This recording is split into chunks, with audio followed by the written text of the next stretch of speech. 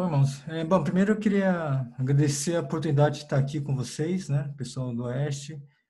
E eu tenho acompanhado as últimas duas aulas e tenho visto quanto é um pessoal muito interessado em conhecer mais a palavra de Deus, então isso me anima muito, né?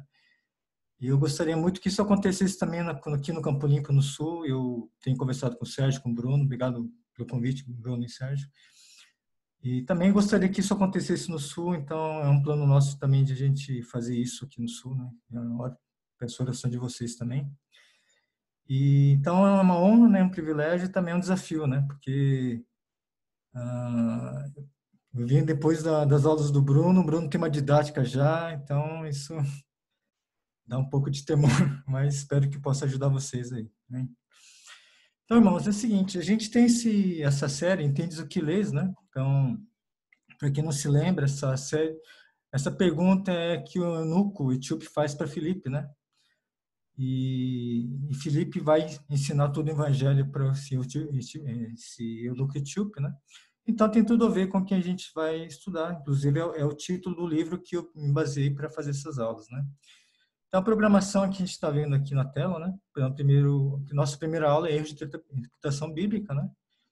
E aí nos, a gente vai ver um pouco de epístolas e também do evangelho, né? Como a gente interpretar as, as cartas e o evangelho, os evangelhos também. Então, isso vai ser a nossa programação, né? E espero que eu possa, eu consiga dar toda essa parte da primeira aula de erros de interpretação bíblica hoje, né? Então, vamos fazer tudo para que tudo corra no horário certinho. Né? Então vamos começar, irmãos. E bom, depois é, eu queria deixar as perguntas no final, né? E se eu não conseguir responder, irmãos, eu, eu vou eu deixar com vocês a, meu telefone e e-mail. Vocês podem me mandar perguntas também, que eu puder responder, né? Estou à disposição de vocês, tá ok? Então vamos começar, irmãos. Então sobre esse é o livro, né, nosso que nós estamos baseados, né, na série de aulas, né, Entende, Entendes o que lês, de Gordon Fee Douglas Stewart, ok? Então, é um livro muito interessante, eu aconselho vocês a estarem comprando esse livro, tá? Ajuda muito na interpretação, a ter uma outra visão da interpretação bíblica, né? Então, vamos começar com, com a aula, então. Então, primeiro eu queria dar uma introdução é, bom, eu acredito que cada um tem uma Bíblia à sua disposição, na sua mão, certo? Ela está próxima a nós, mas a gente tem que considerar algumas distâncias que nós temos em relação ao conteúdo da Bíblia. Né? Quais são essas distâncias? Né? Então, a primeira distância que eu quero falar é a distância do tempo, né? a distância cronológica. Né? A gente tem que entender que a Bíblia foi escrita num, eh, num tempo, mais ou menos dois milênios atrás. Né? O último livro da Bíblia foi Apocalipse, escrito no primeiro século. Então, é uma distância que nós temos em relação ao conteúdo da Bíblia, é uma distância de tempo, de cronológica, né? Nós temos a distância do espaço, né? Uma distância geográfica. A gente tem que entender que a Bíblia foi escrita, por exemplo, ah, basicamente no Oriente Médio e uma parte da Europa Central, né? Então, há uma distância também geográfica no que nós temos em relação à Bíblia. Outra distância é a distância dos costumes, ou a distância cultural. Então, a Bíblia foi escrita numa realidade cultural muito diferente do que a gente está acostumado, né? Aqui no século 21, né? É uma distância, é uma distância cultural grande, né? Outra distância é a distância do idioma, que é o linguístico, né? Bom, a Bíblia não foi escrita em português, né? Ela foi escrita no grego, no hebraico e no aramaico. Então há uma distância também em relação à língua, né? Uh, tem uma distância da escrita, que é, é uma distância literária. Então a Bíblia ela foi escrita em estilos literários muito diferentes do que a gente está acostumado a, a, ver hoje atualmente, né? Vou dar um exemplo: Salmos e Provérbios são uh, estilos literários muito próprios da Bíblia, né? A gente não tem, por exemplo, um paralelo em relação a esses estilos atualmente no nosso é, nesse tempo nosso hoje, né? E a distância espiritual, né, que é mais importante, que a gente tem que entender que a Bíblia ela foi nos uh, dada por Deus de uma maneira espiritual e com uma inteligência e uma sabedoria que está muito além da nossa. Né? Então, a gente tem uma distância espiritual enorme né, nesse sentido. Né? Então, a gente tem que estar tá indo para a palavra de Deus com uma, uma, muito, muito espiritualmente, né? de uma forma muito espiritual. Então, então, essa é uma introdução que eu queria fazer. Então, Se a gente desprezar essas distâncias, a probabilidade de a gente cometer erros doutrinários é muito, é, erros de interpretação é muito grande. Então a gente sempre tem que levar em consideração essas distâncias. Né? Então vamos para alguns termos de interpretação bíblica. É, se eu estiver indo muito rápido, Sérgio, me dá um toque, por favor, tá? Por favor. É, alguns termos que a gente vai usar muito nessas aulas, tá?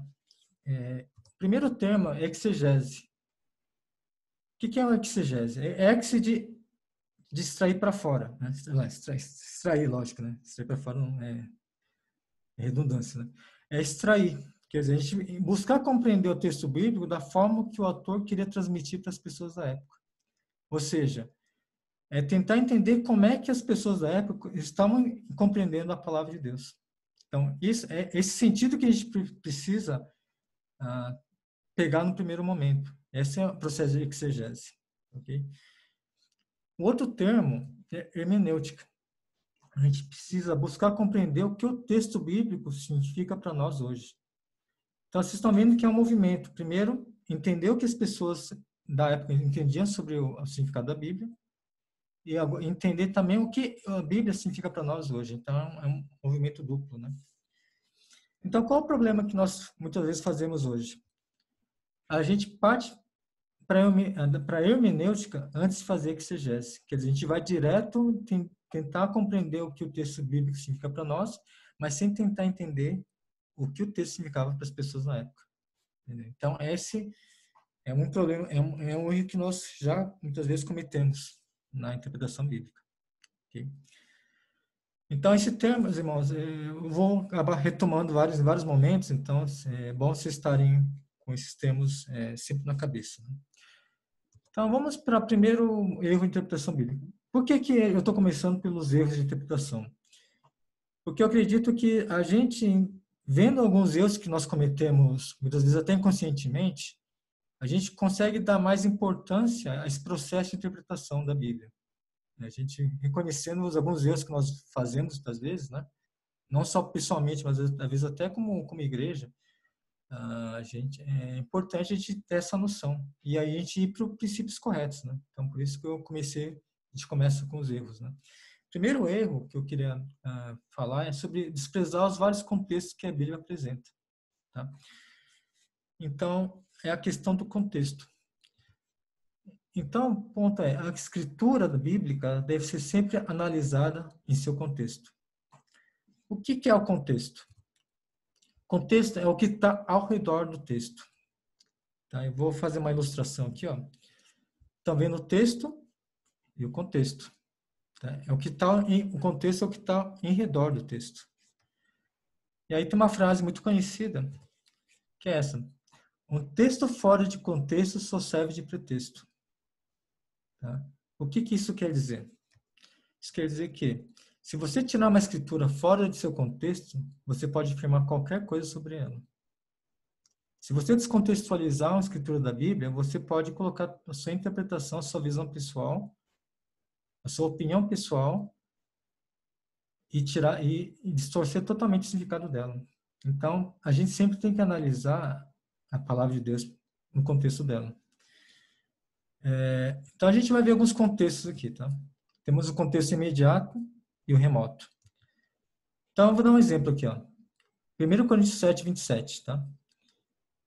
É, é, só para dar um toque, assim, eu estou usando alguns exemplos muito assim, é, eu estou evitando é, passagens muito polêmicas, tá? Então, vocês vão ver alguns exemplos que não são polêmicos, né? depois pode surgir dúvidas, a gente pode discutir é, essas dúvidas depois, tá?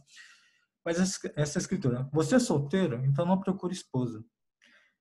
Se você analisar essa palavra, essa, essa frase só, é, isolada, qual que é a ideia que pode ser passada para a gente? Que Paulo está falando para a gente não casar, certo? Mas aí então a gente precisa ver contexto, os contextos dessa escritura. Por exemplo, essa, essa, essa passagem ela foi usada para justificar a doutrina do celibato sacerdotes, que eles não deveriam se casar. Então, vamos ver o contexto imediato. Então, a gente vai ver o contexto imediato, por exemplo, nas escrituras anteriores a essa passagem. Então, Paulo fala assim: Para os solteiros, não tenho nenhum mandamento do Senhor, porém dou a minha opinião como uma pessoa né, que merece confiança, né? E também por causa dos tempos difíceis que está sendo vivido na, na igreja de Corinto. Então, o que Paulo está falando para a gente, assim, é, que no, no, que ele fala aqui não é um mandamento, não é, uma, não, não é um mandamento de Deus, é na verdade uma opinião pessoal dele, certo? Por causa do quê? Por causa dos tempos difíceis que estão sendo vividos, né? Na igreja de Corinto. E a gente vai ver o contexto remoto, né? O imediato são as escrituras que são próximas, né, da passagem, e o contexto remoto é o contexto em geral, né? Por exemplo, a gente vai ver 1 Timóteo 4, 2, é, versículos 2 e 3, é interessante que Paulo fala assim, né, numa, num certo ponto, que há pessoas estão ensinando, ensinando doutrinas erradas, e essas pessoas ensinam que é errado casar, e que isso não reflete é, os ensinamentos bíblicos, né? Então é interessante. Então você vê em Corinto, ele fala sobre não procurar esposa. Em Timóteo ele fala que, que o ensinamento sobre casar é errado, né? Então por que que essa essa variação, né, de, de, de posições, né, entre aspas, de posições de Paulo, né? Então a gente tem que entender então, por outro lado, o contexto histórico, né? Então aqui, por exemplo, eu vou mostrar uma foto de Corinto, né? Corinto é uma, igreja, é uma cidade da Grécia, né? muito importante, era uma metrópole da época, é uma cidade portuária, onde as pessoas de vários, vários países, eles vinham, né, e faziam comércio.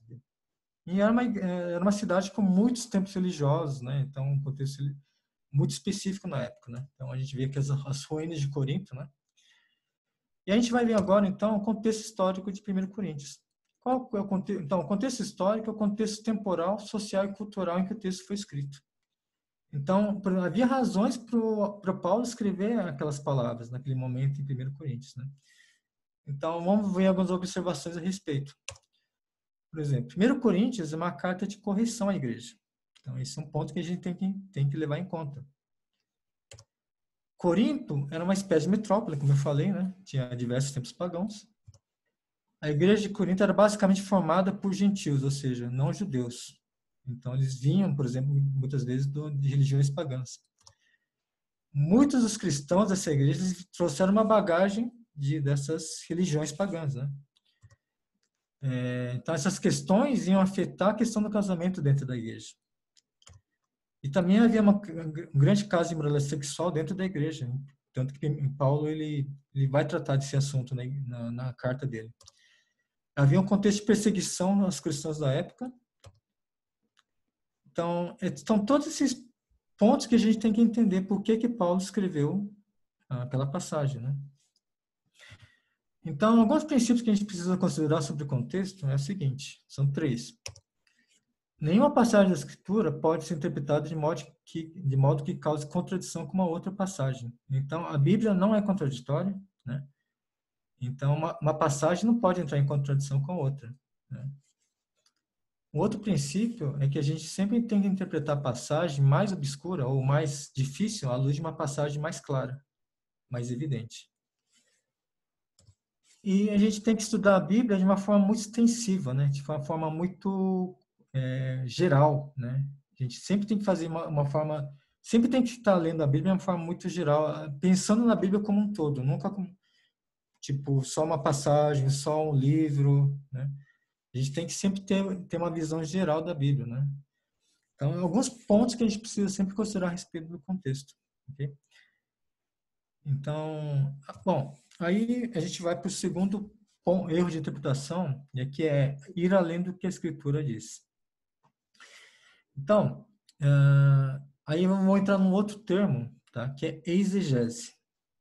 O que, que é exegese? Exegese é você inserir o seu ponto de vista pessoal, a sua visão, a sua opinião no texto bíblico.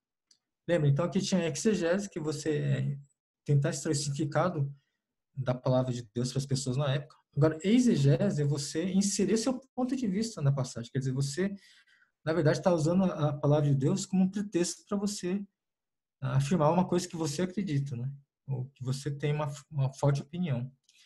Então, isso é um erro, né? Você não pode fazer isso. Vou dar só um exemplo, né? Essa passagem de 1 Coríntios 5, 4 a 5, tá? Eu não vou ler todas as escrituras, senão vai alongar um tempo, mas essa passagem fala que, é, um, vocês podem ler depois, depois é, tem uma parte que fala assim, para que para, é, fala de uma pessoa que está sendo expulsa da, da do, do, convívio da igreja, né? E Paulo fala para que o corpo seja destruído, e o espírito seja salvo, né? No dia do Senhor. Então, essa escritura, irmãos, foi usada para justificar a tortura e a Inquisição na Idade Média. Em qual sentido? Então, é, eles falaram assim, bom, para o corpo, é, era melhor, por exemplo, que um, que um herege ele fosse queimado vivo, ter o corpo destruído, do que a alma dele para o inferno. Com base nessa passagem que a gente viu. Entendeu? E você, você, você analisar o contexto, analisar a escritura, não fala nada disso. Na verdade, é, uma, é um caso de disciplina da igreja, né? Mas ele foi usado para quê? Para justificar a tortura, a inquisição, a morte da, de, de, pessoas, né? Então, a gente vê um exemplo de uma, uma, interpretação que é capaz de matar pessoas, né? Então, é algo muito sério, né? Não é uma... Uh, então, uma má interpretação ela causa algumas consequências bem complicadas, né? Então, vou dar um exemplo aqui. É, por exemplo, a Última Ceia, né? Leonardo da Vinci. Vocês conhecem, devem conhecer esse quadro, né? Eu não vou falar do Código da Vinci, tá? Não se preocupa. Mas vamos analisar um pouco esse quadro, né? Você vê, por exemplo, essa mesa, tá? vocês estão vendo a mesa aqui, né? Você vai ver que, por exemplo, há cadeiras aqui, né? Eles estão sentados em cadeiras aqui. Se você ver do lado esquerdo, da, você vê uma, uma cadeira. Se você olhar o fundo, por exemplo, desse quarto, certo? O teto, os ornamentos das janelas e tal. É, e também você vê as vestimentas das pessoas. Você acha que, por exemplo, que essa, essa, essa, esse quadro, essa pintura representa como foi a ceia na, de Cristo na época, não? Então, se você pensarem bem, que acontece aqui? É, é um quadro artístico, tem uma, tem uma produção artística aqui, mas você vê que Leonardo da Vinci está colocando uma visão muito pessoal da época dele para o quadro, né? para a cena da Bíblia. Né? Ah, eu acredito que como seria, por exemplo, a ceia de Jesus? Seria assim. Tá vendo? Sim, ó, vocês estão vendo que eles estão sentados de joelhos, né? Que é a mesa uma mesa baixa, né? E vocês vão ver que, ele é, que é, um, na verdade, uma mesa em quadrado, né? Que eles estão sentados em volta. Então, há uma diferença, né? Vocês estão vendo aqui e aqui. Então, muitas vezes, o que, a gente faz na exegese é isso aqui, que vocês estão vendo no quadro da ceia. Quer dizer, a gente colocando uma visão nossa do século XXI, por exemplo, para uma cena que é bíblica, né? Então, esse é o problema da exegese, a gente fazer esse tipo de movimento, né? Colocar, muitas vezes, a nossa visão de mundo, que é, que é de hoje, para uma visão que é da palavra de Deus, né? Que é que foi escrito para um contexto específico para as pessoas na época. Né? E, então, esse erro que a gente tem que evitar fazer. Tá? Ah, então, o terceiro ponto, o terceiro erro que eu queria comentar é sobre utilizar passagens de difícil compreensão para fundamentar uma doutrina. Então, é, por exemplo, vou falar de 1 Pedro 3,18, né? Então, essa, essa passagem é um, é, um, é um dos textos mais difíceis de interpretação da Bíblia. O que quer dizer, por exemplo, que Jesus foi no Espírito e pregou os espíritos que estavam presos. Então, é muito difícil, né? A gente, muitos, muitos estudiosos da palavra de Deus, eles têm várias interpretações difíceis, assim, é, diferentes a respeito dessa passagem. Várias outras passagens na Bíblia você vai ver que tem opiniões diferentes, né? Mas essa é uma das passagens mais difíceis de, de, de interpretação. Né? É, o que quer dizer isso? Né? Então, uh, eu não vou explicar, eu não vou assim, explicar essa, essa, passagem, é só um exemplo, tá? Mas essa passagem ele fundamentou uma doutrina da Igreja Católica, a doutrina do purgatório, né? Onde uma pessoa, depois de morta, ela poderia ter uma segunda chance, né?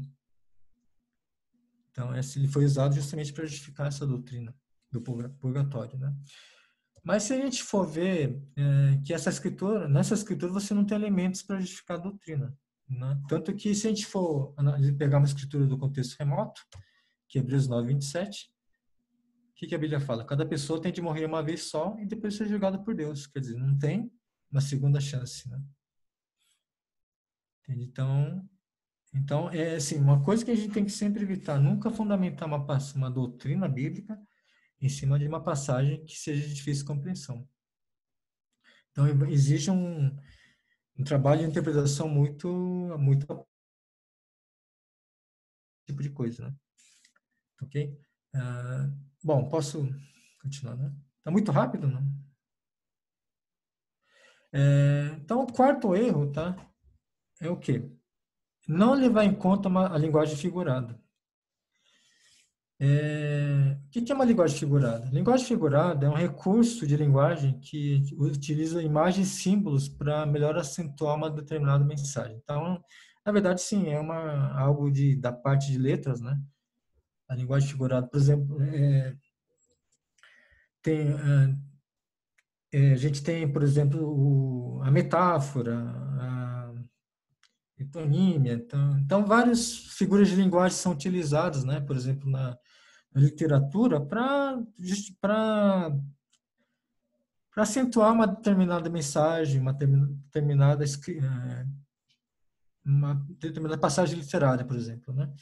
Vou dar um exemplo de como a gente pode usar uma linguagem figurada na, na Bíblia, né? que foi usada na Bíblia, que é Mateus 5, 29 e 30, que é a famosa passagem do é, que seu olho direito faz, que, faz com que você peque, arranque e jogue fora, se a sua mão direita faz que você peque, corte e jogue fora, né? Na verdade, isso é uma linguagem figurada, né? Quer dizer, ele não ah, está querendo dizer que você tem que arrancar o olho. Bom, isso é meio óbvio, né? Uma, nessa passagem, né? É, não quer dizer que você tem que cortar a mão, mas que você tem que levar muito sério o pecado, né? Então, essa é uma figura de linguagem que a gente chama de hipérbole, que é o quê? Que é um exagero para enfatizar algo do que está sendo dito.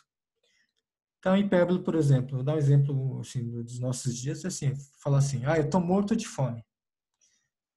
Bom, morto de fome não é que você está morto, né? É que você está com muita fome. Então, isso é hipérbole, né?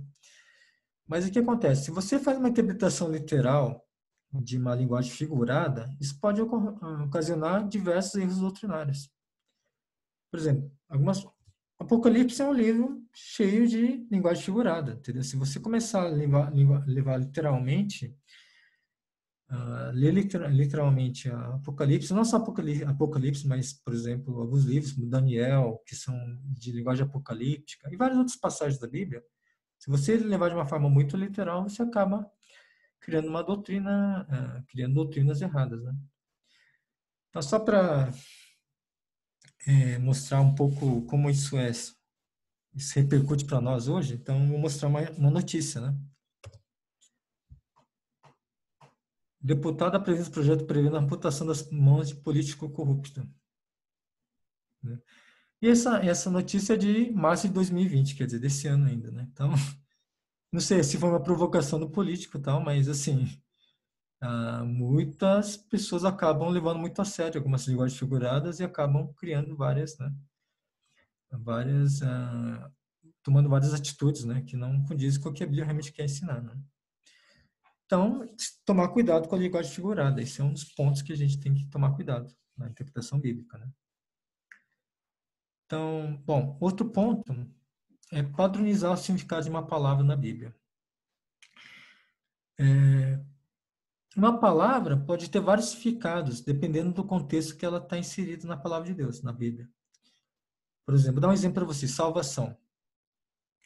Uh, se, a gente, se, a gente, for ver, por exemplo, em, várias passagens, as palavras salvação tem vários significados. Em Atos 27 e 20, ele tem sentido de segurança ou libertação de situações difíceis. Em Tiago 5,15, saúde física ou emocional. Êxodo 14 e 13, que são é, libertação de Israel da opressão inimiga. João 3 a 7, libertação da condenação do pecado por meio de Jesus.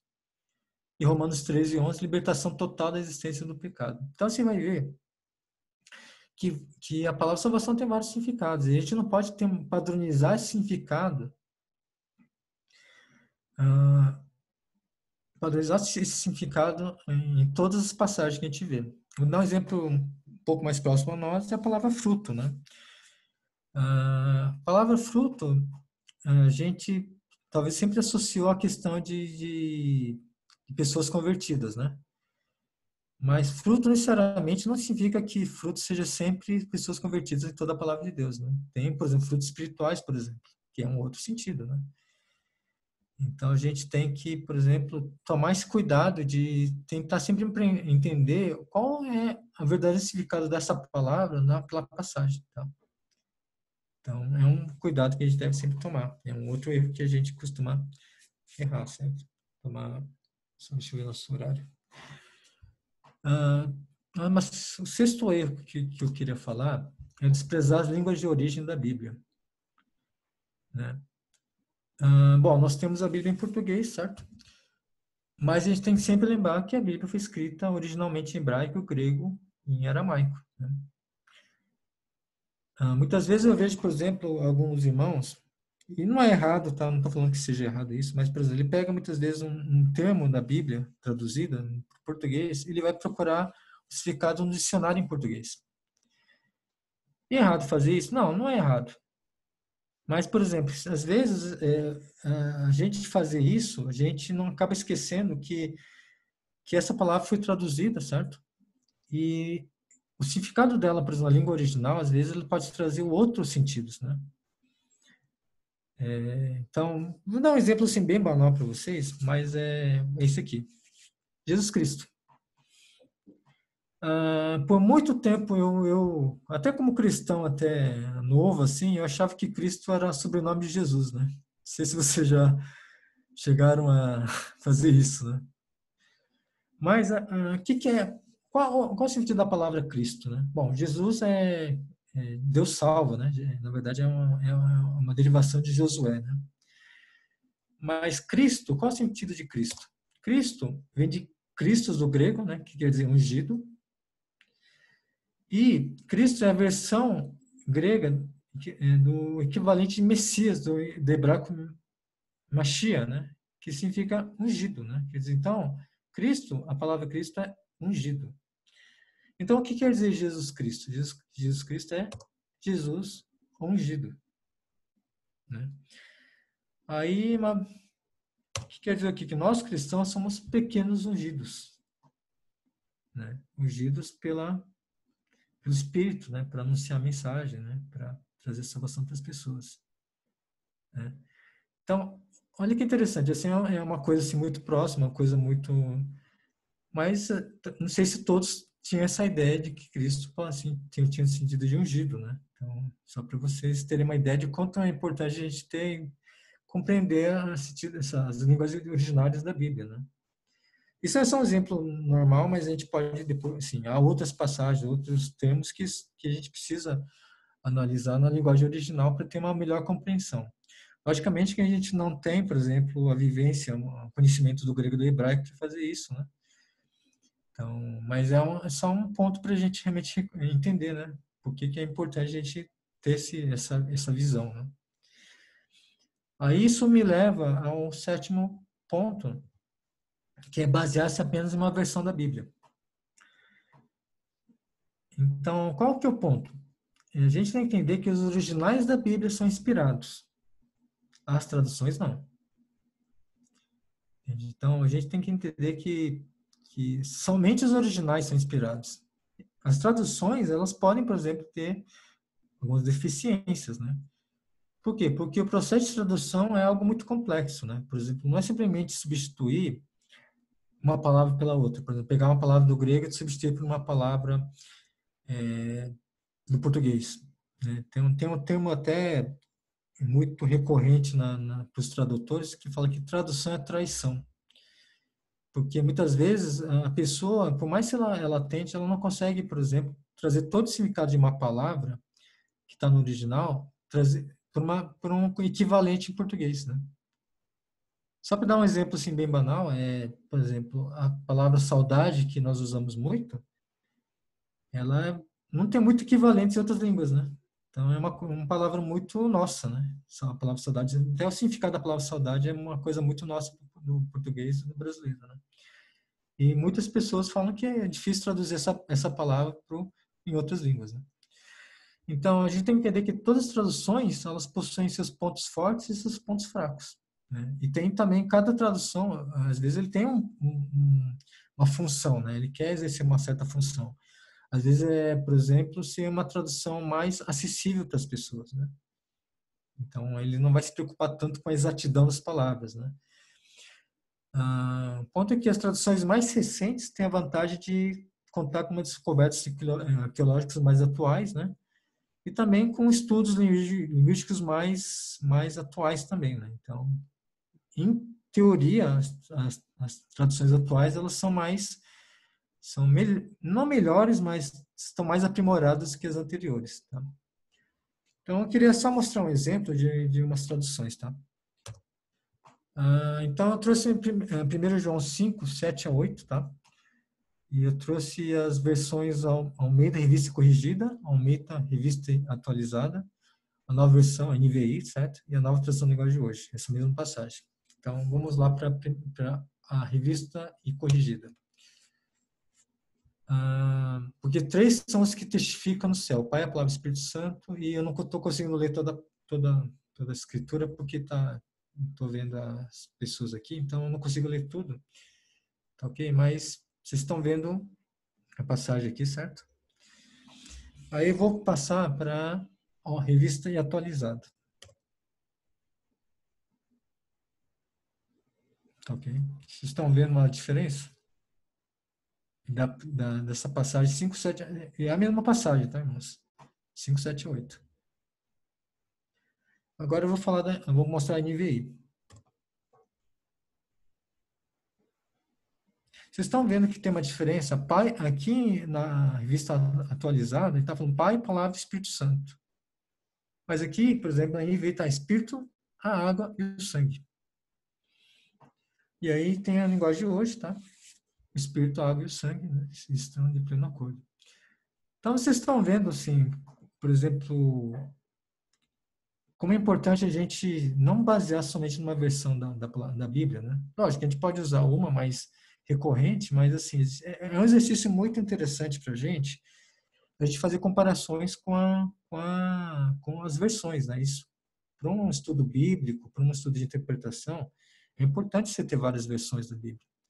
Eu, por exemplo, tenho versões aqui na em casa, tipo, tem, tem Bíblias católicas, tem Bíblias, tem até uma Bíblia japonesa, né, em, em japonês. Eu tenho uma Bíblia em grego, né, tenho até a Bíblia é, da Testemunho de Jeová e de outras, né. Então, e tem até tem uma Bíblia né, que, que, que os espíritas eles traduziram, eu acho até uma, uma tradução boa, viu? É, então, a gente tem que sempre é, procurar ver várias versões para a gente fazer uma, uma, um estudo da palavra de Deus. Né? Então, então, isso é assim, não se basear não somente numa versão bíblica, né, da Bíblia. Então, outro ponto é desprezar que separações por capítulos e versículos são recentes. Então, a divisão por capítulos e versículos, eles não existiam nos, originais da Bíblia, né? Você vai ver que ela é, é, não existe essa separação de capítulos e versículos na, nas partes, na, nas, nos originais. Né? Depois eu mostro até um texto em, em grego para vocês verem. Mas, por exemplo, a divisão em capítulos, ela vem em 1227, tá? Por um cara chamado Steven Langton. E a divisão em versículos foi feito em 1551 por um cara chamado Robert Stephanus. Então, é, embora seja muito útil para a gente, né, eu vejo que seria muito difícil para a gente, exemplo, localizar uma escritura na Bíblia sem essa separação de capítulos e versículos, mas uh, o que acontece muitas vezes é que essa separação de capítulos e versículos ela foi feita de uma forma muito arbitrária, né? Uh, foi feito meio, talvez de uma forma muito rápida, sem muito estudo, né? Então, então, essa divisão ela acaba sendo, sendo muito coerente os trechos da Bíblia. Ah, então, o que, é muito recomendável a gente fazer é não somente ler, por exemplo, a Bíblia por meio de capítulos ou versículos, mas sempre em base, em base em parágrafos ou blocos de assuntos.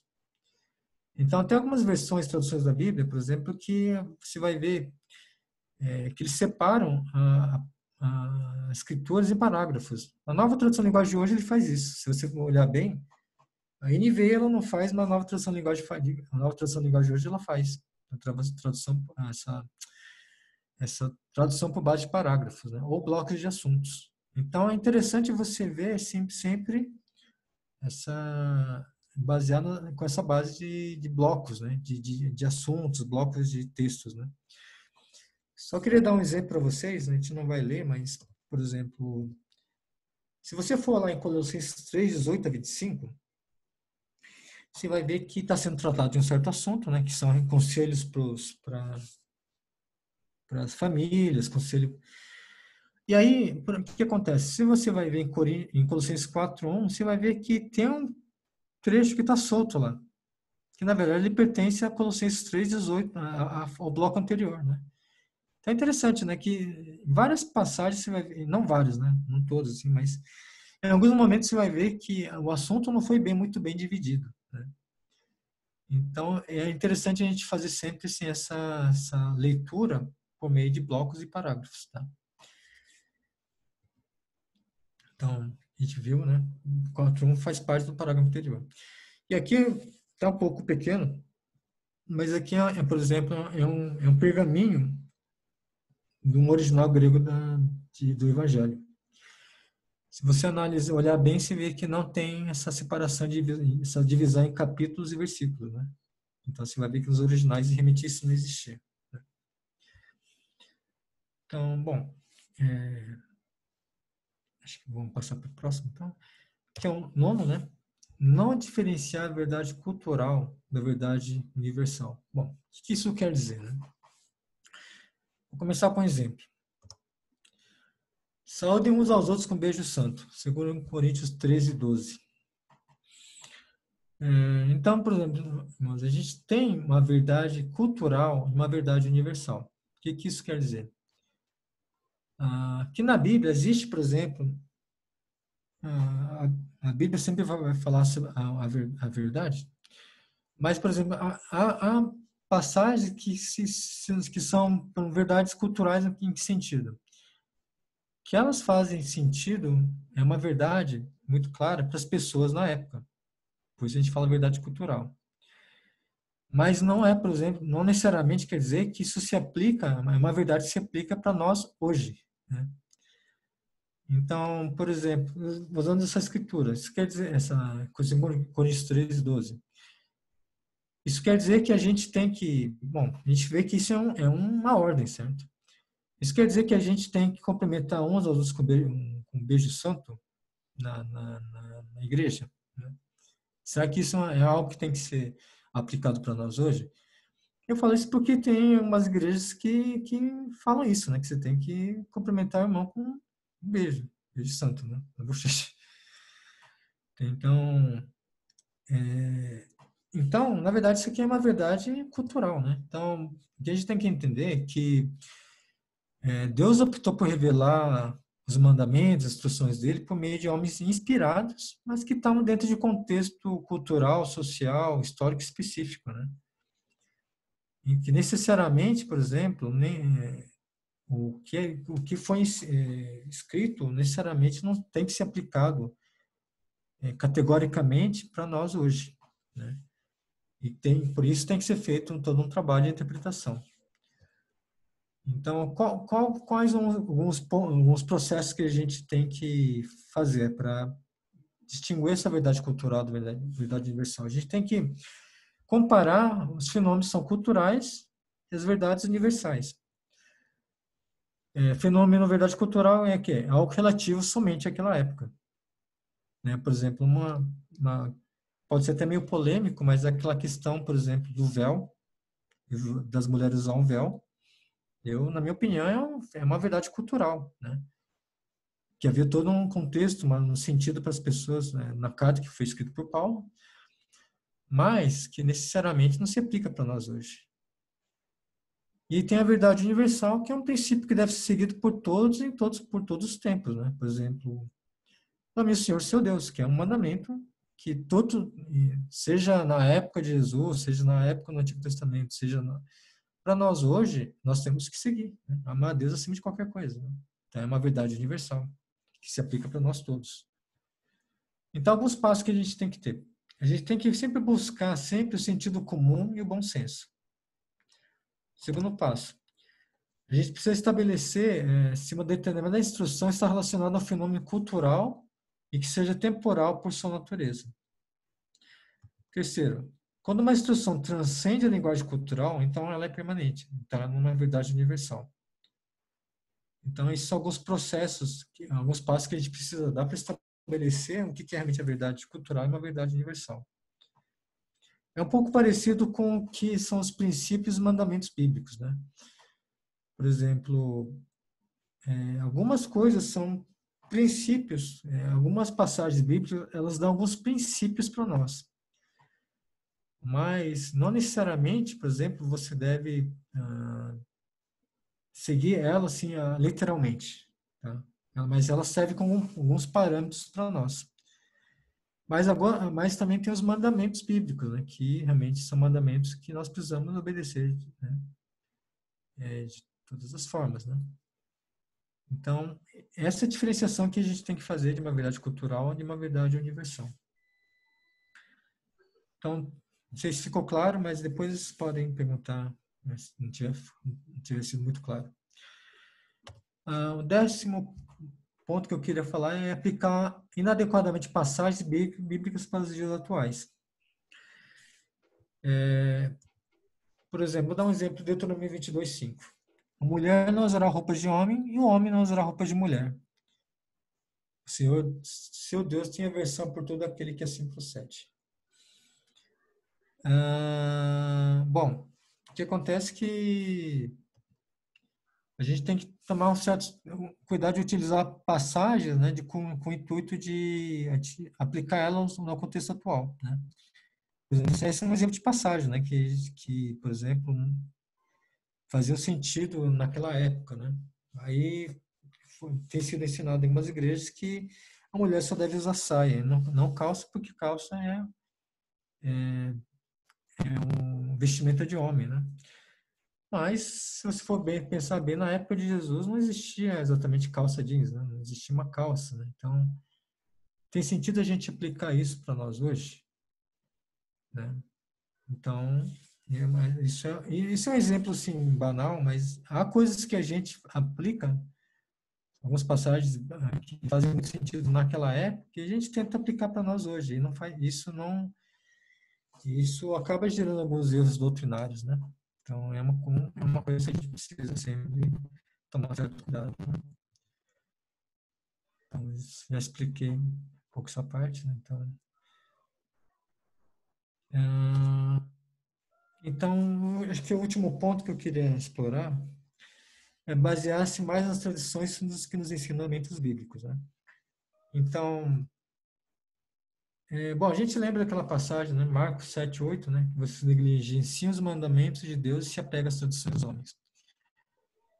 É, bom, tradição necessariamente é algo ruim?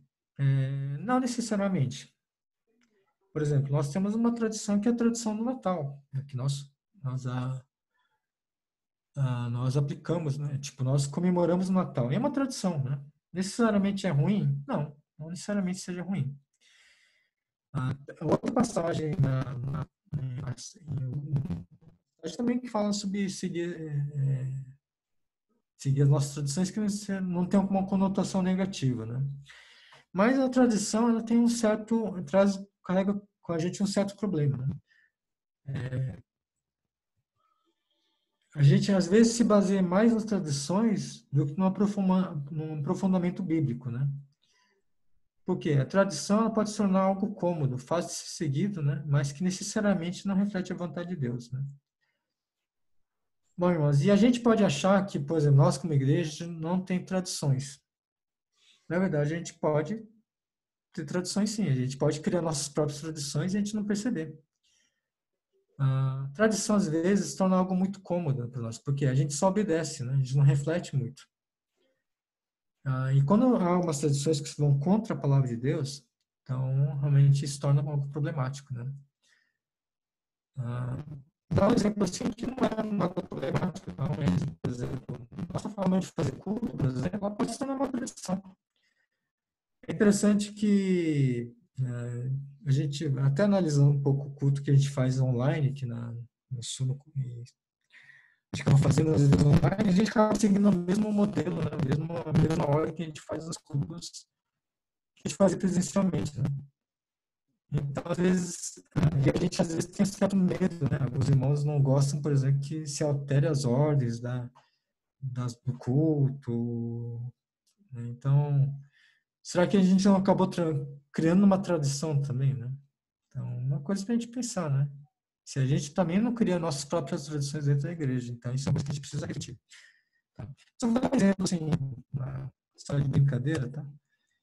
Ah, ah, você sabe quais são os nomes dos três magos? Alguém sabe? Não, porque a tradição, assim, você vai ver que na Bíblia não, não, tem os nomes deles, lógico, né? Mas há uma tradição que eles têm nome, certo? Mas eu vou fazer uma pergunta para vocês, né? É, a gente fala os três reis magos, né? Primeiro, a Bíblia fala que são três reis? Não. E a Bíblia fala que eles são reis? Mas a gente fala dos três reis magos, certo? Então, vocês estão vendo assim, é, é um exemplo banal, mas assim, a gente, por tradição, a gente acaba falando algumas coisas que não estão na Bíblia. Né? Então, né? então a gente, é só uma coisa para a gente refletir, né? Alguma coisa assim, um exemplo banal, mas para a gente refletir um pouco mais sobre isso, sobre as questões das tradições. Né? Então, irmãos, é... ah, desculpa, tem o último ponto aqui, é que a gente despreza os gêneros literários existentes na Bíblia, né? Então, esse é o, realmente o último ponto, tá? Ah, aí uma pergunta, quais são os tipos de textos que você conhece? Então, vou dar um exemplo assim. Por exemplo, a gente tem poesia, a gente tem, por exemplo, a narração, notícias de jornal, o teatro, tem as leis, né, a Constituição. A pergunta que eu faço é: você interpreta um poema da mesma forma que você interpreta, por exemplo, uma lei? Você interpretaria um poema da mesma forma que interpretaria uma lei? Geralmente, sim, com certeza você vai falar que não. Mas aí a gente já chega numa seguinte ponto. Né? A Bíblia tem o seguinte tipo de texto poesia, os Salmos, tem uma narrativa, tem uma literatura apocalíptica, que é Apocalipse, tem uma literatura sapiencial, que são os Provérbios, tem, uma, tem a parte histórica, que é Josué, Primeiro Crônicas, Atos, Primeiro Dois Reis, é, Um e Dois Reis, a profecia, cartas e documentos jurídicos como Levítico. Mas o que acontece muitas vezes é que a gente interpreta a Bíblia como se fosse como se tudo fosse igual. Você, todos os gêneros, a gente não faz uma diferenciação de gêneros, né? Na Bíblia. A gente interpreta, por exemplo, Levítico da mesma forma que a gente interpreta Salmos, né? Um livro histórico, a gente às vezes tenta interpretar da mesma forma que Apocalipse, né? Então, há muitas diferenças, né? Entre um gênero e outro. E a gente precisa levar em conta isso, né? A questão dos gêneros na uma interpretação. Cada gênero, ele existe uma forma de interpretação. Tá? É nesse sentido que, por exemplo, que as próximas aulas que a gente vai ter, por exemplo, de, de, de, das epístolas, de, dos evangelhos, é isso que eu vou levar em conta, né? Para a gente fazer uma interpretação, que cada gênero existe uma forma de, de interpretação. Tá? Então, essa é uma, é uma introdução para as próximas aulas. Tá? Interpretar, não, não desprezar os gêneros existentes na Bíblia. Ok? Então, é, acho que é isso, né? É isso que eu queria passar para vocês, tá bom? E, e aí, ah, não sei se foi muito rápido, né? Se eu pincelei as coisas de uma, uma forma muito rápida, mas eu queria abrir para perguntas, então. Ah, espero que tenha ajudado cada um de vocês, né? Espero que sim. Deixa eu ver o chat. Obrigado, Edson. Okay. Tem, você pode voltar num. Quando você está falando do contexto imediato e remoto? Estava anotando, aí foi um pouco rápido lá. Vocês conseguem okay. voltar? É, eu, eu, realmente me dei uma pincelada muito, muito rápida, né? É, o que, que é o contexto remoto? O contexto remoto é o contexto, por exemplo, você tem um, um, um certo versículo da Bíblia, certo? Contexto remoto seriam, por exemplo, escrituras que estão acima, acima dessa escritura e as escrituras que estão abaixo. Pois digamos que sejam as escrituras que estão no mesmo capítulo, tá? O contexto remoto, por exemplo, é você fazer uma, uma comparação entre livros, por exemplo, que nem eu expliquei. Primeiro Coríntios, a gente você vai ver, por exemplo, o mesmo tema sendo abordado, por exemplo, em 1 Timóteo. E você vai ver que são, uh, ou pode, uh, muitas vezes, é, uma outra passagem em um outro livro vai reforçar o que está sendo dito, está sendo dito, por exemplo, na, naquela passagem de Corinto, né? É, por exemplo, tem um, é, a questão da fé e obras que aparece em Tiago, né? É, aquela escritura, ela, ela, às vezes, assim, você interpretar aquela, aquela passagem de Tiago como fé e obras, né? Sobre você mostrar a fé e apresentar as obras. Se você não tem uma, uma leitura do contexto remoto, você vai interpretar que essa voz é por obras, não é salvação pela graça. Então, isso é o contexto remoto. Você sempre tem que ler a Bíblia em todo o seu contexto, seja em outras, seja no Novo Testamento, seja no Antigo Testamento, seja na Bíblia inteira. Né? Então, esse é o contexto, né? Há vários outros contextos, né, que a gente, eu só pincelei a parte de contexto, tá? É, tem outros contextos, né? É, depois eu posso até mostrar, passar para vocês um, um, quadro que eu tira, acabei tirando da aula, tá? E que mostra todos os contextos existentes que a gente tem que explorar. Tá? Então, não sei se ficou claro. Deu, deu para ficar claro isso? Tá. Sim, sim, obrigado. A Cris, também, a Cris Lopes também perguntou isso, né? A Baltazar, Belchior e Gaspar. Tá. Ah, vocês falaram o nome dos reis magos, né? Baltazar, Belchior e Gaspar. Ok. Tá ok, irmãos. É, tem, se tiverem outra, alguma dúvida, uma coisa que não ficou muito clara, né?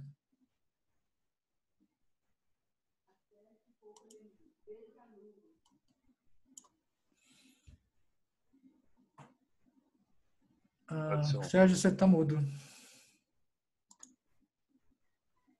Está ouvindo agora? Estou. Ah, legal. Ah, eu só ia aproveitar quando você faz ah, aquela explicação sobre a questão cultural. Ah, uhum. Às vezes a gente está lendo um texto ah, por exemplo, que você falou sobre o véu, ah, e às vezes a gente tem realmente uma dificuldade de saber ah, o que seria algo cultural que valia para aquela época e como seria isso hoje. então, para a gente entender um pouco mais da cultura daquela época, você recomenda alguma coisa de como a gente poderia algum material, algum tipo de material para a gente poder quando a gente está lendo um livro ou uma passagem, buscar material para poder entender como era um pouco a cultura da época?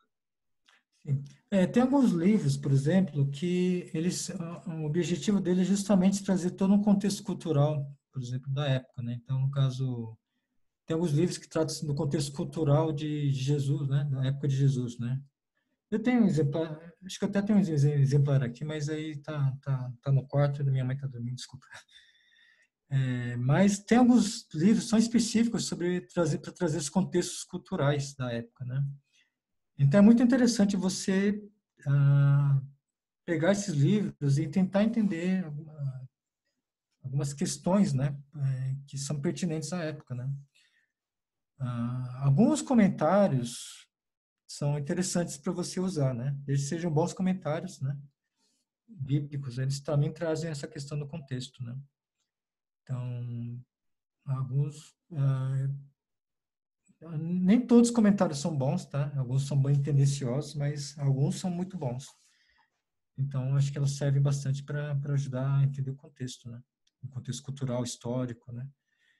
Legal. Uh, depois eu posso passar para vocês um, alguns livros que sejam interessantes para a gente. Né?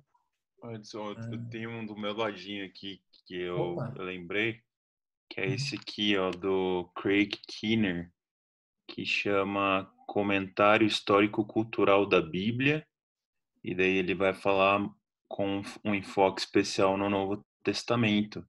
Mas é muito legal porque ele pega cada livro da Bíblia e ele vai versículo por versículo fazendo, tecendo comentários culturais e históricos. É uma coisa muito legal, né? Você estava falando, por exemplo, de primeira Coríntios, é, quando a gente vê lá no capítulo 11, Paulo dizendo sobre o véu, ele fala que a mulher, de forma alguma, deveria raspar o seu cabelo uh, ou, ou, cortar o seu cabelo.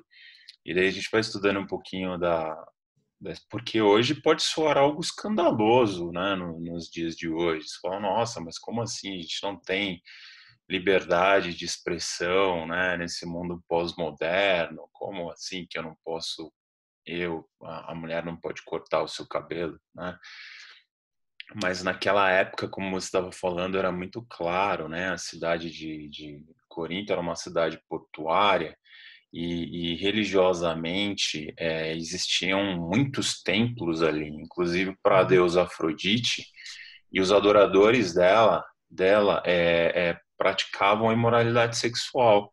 É, e existiam ah, mulheres nesse templo, prostitutas, e elas tinham o cabelo raspado. Né? Então, Paulo, muito consciente do que acontecia na época, fala de forma alguma uma cristã deve raspar o seu cabelo, porque para aquela sociedade seria inevitável a comparação. Né? Então, como uma filha de Deus, uma, uma nova criatura em Cristo, é, se, se pareça com uma prostituta. Então, quando você vai estudando essas coisas, usando materiais assim, nossa, é incrível, né? A gente entende as escrituras de uma, uma, uma outra maneira. Só, só dar um exemplo, agradecer muito os toques, as aulas a, a, durante sua aula que foram bem valiosos. Obrigado. Ô Bruno, põe de novo o livro de novo na tela para eu tirar uma foto da tela, por favor. Põe, põe sim, ó. Valeu, obrigada. Ó, eu vou aumentar, vou colocar a parte de baixo também, tá? Valeu, obrigada. Uhum.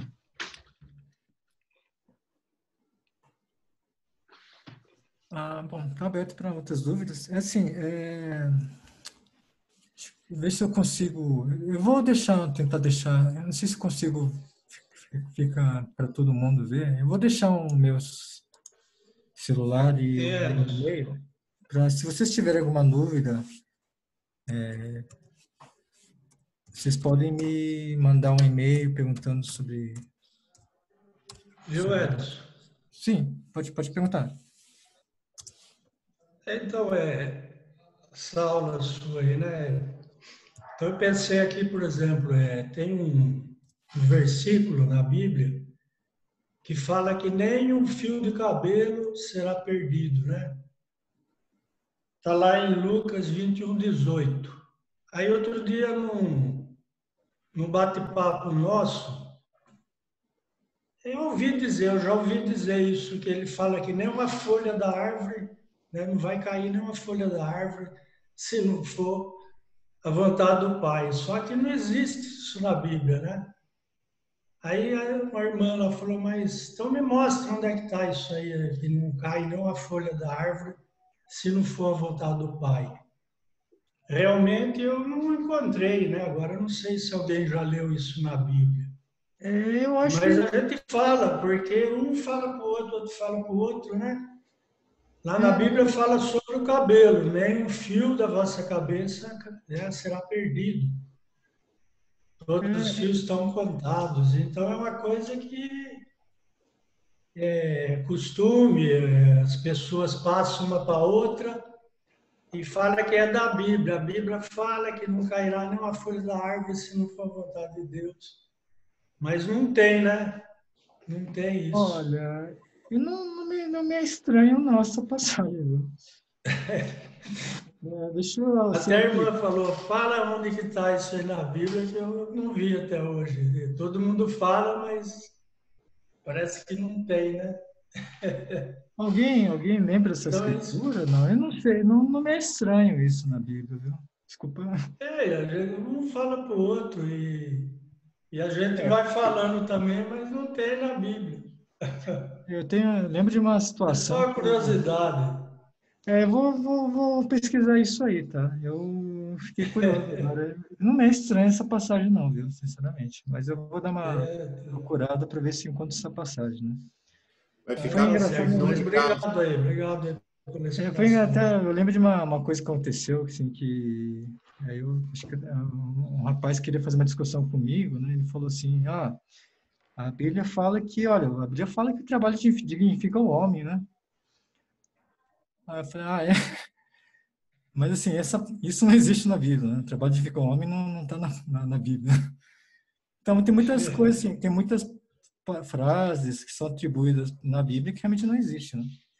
Não Mas existe, eu fiquei é curioso é com isso aí, viu? Você me levantou isso, eu vou dar uma procurada. Se encontrar, eu passo ah, para você. Mas não tá é bom, estranho, não. Então, Obrigado, Edson. É, muito legal. Ah, bom, alguém tem alguma dúvida? Eu não sei se a gente tem tempo, Sérgio. Tem mais? Tá, já finalizando. Se alguém tiver alguma pergunta, ainda tem. Senão, a gente pode terminar por hoje e deixar para a semana que vem. É, na verdade, eu queria contribuir com algo. Sim. Não. É, sobre esse assunto que o irmão compartilhou, é, eu estava pesquisando aqui na, na internet rapidamente é, sobre não cair uma folha de árvore. É só colocar no Google, vai aparecer um primeiro artigo.